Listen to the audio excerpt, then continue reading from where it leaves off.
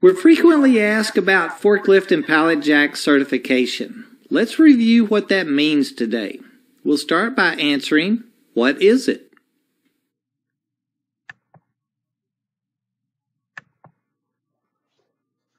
Twenty-nine CFR 1910.178 is from the OSHA or Occupational Safety and Health Administration Standards 29 CFR, our Code of Federal Regulations.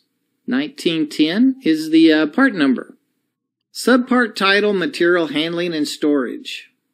Creating the standard number 1910.178 and the titled Powered Industrial Trucks. I encourage you to check out www.osha.gov online and review the entire standard, or just look up 29 CFR 1910.178 and educate yourself on the entire regulation. The standard was implemented to protect us as equipment operators and our employers with regards to the safe operation of equipment and maintaining a safe work environment for all. You may hear this training referred to as PIT training or powered industrial truck training. Some organizations may call it equipment training or uh, even safety training.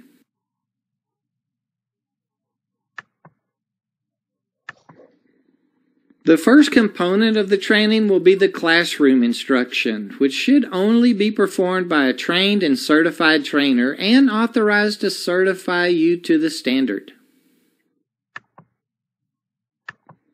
Your training will include several situational videos and may include do's and don't scenes and uh, scenarios.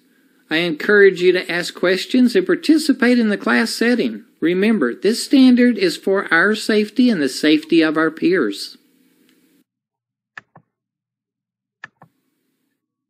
The on-site is an important component of our training. There's companies that advertise classes or instruction for a fee, and while I feel these schools are great for a safety refresher or someone looking to get into the light industrial arena and warehousing, it's important to remember that being certified is not a job guarantee.